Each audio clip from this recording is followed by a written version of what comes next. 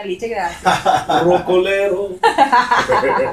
Hay un tema que yo grabé que se llama Hola Soledad, que dice, Hola Soledad, esta noche te esperaba, y aunque no me digas nada, es tan grande mi tristeza, ya conoces mi dolor.